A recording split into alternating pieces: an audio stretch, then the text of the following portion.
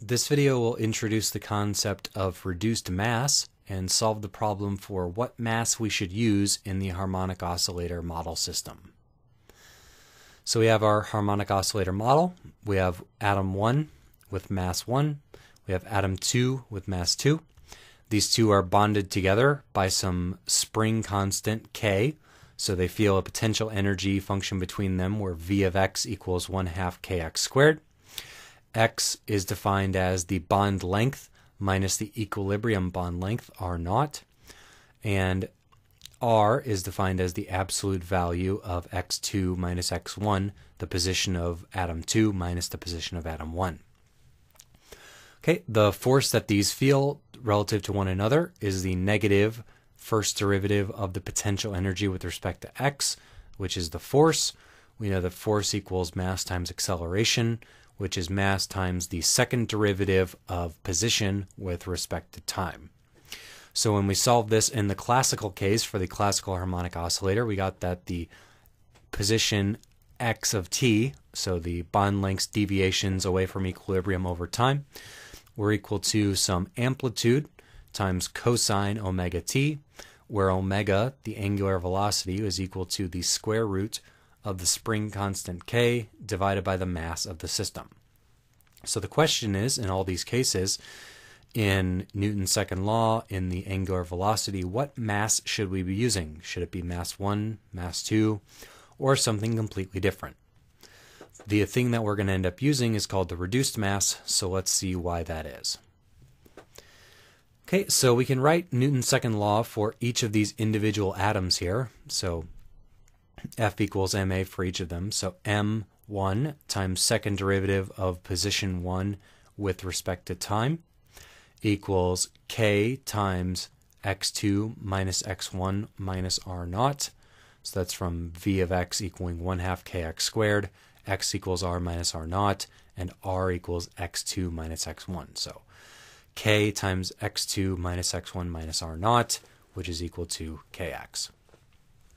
All right, for particle 2, we have m2 times second derivative of position 2 with respect to time equals, and that's the reverse of this, it's minus k x2 minus x1 minus r naught equals minus kx. So the the force that these two feel is the opposite of each other, which makes sense because Newton's third law is that there's an equal and opposite force for every force that a given particle feels. So they feel the corresponding opposite forces to one another. So these forces summed up together, since this one feels a force of kx, this one feels a force of negative kx. So m1 times the acceleration of x1 plus m2 times the acceleration of x2 is equal to 0.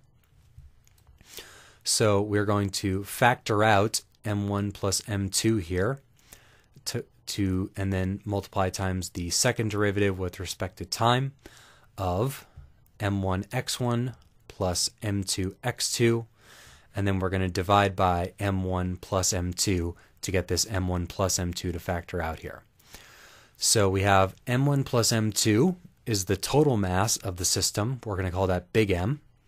And this quantity in here, m1x1 plus m2x2 over m1 plus m2, this is actually the center of mass of the molecule.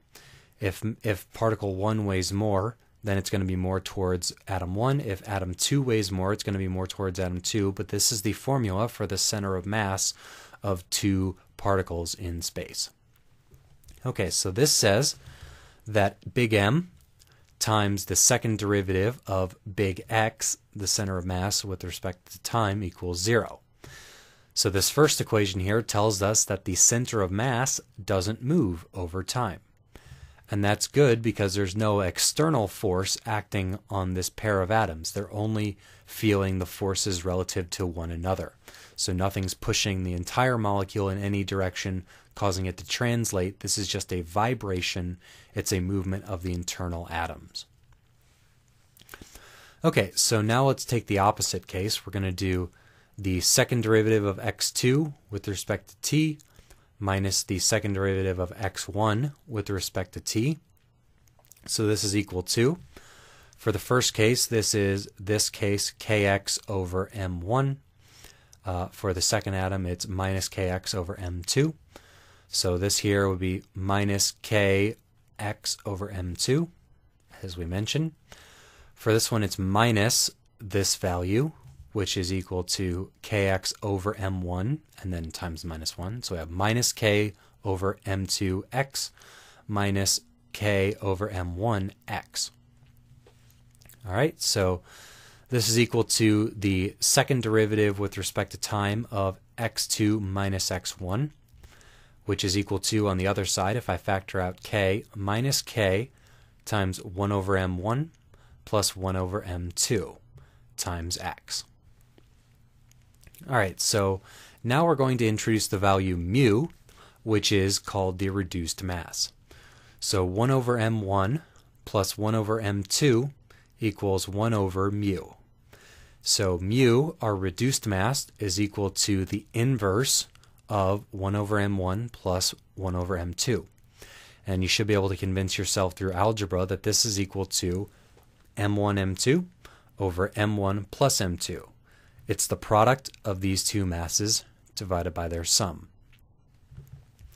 Okay, so if we do, if we multiply both sides by 1 over m1 plus 1 over m2 to the minus 1, this is going to go away, and we're going to get a 1 over m1 plus m2, or sorry, 1 over m1 plus 1 over m2 over here.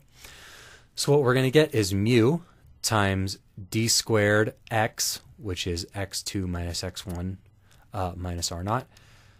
The minus r naught is going to go away because that's a constant. So this is actually mu times d squared x with respect to t equals minus kx.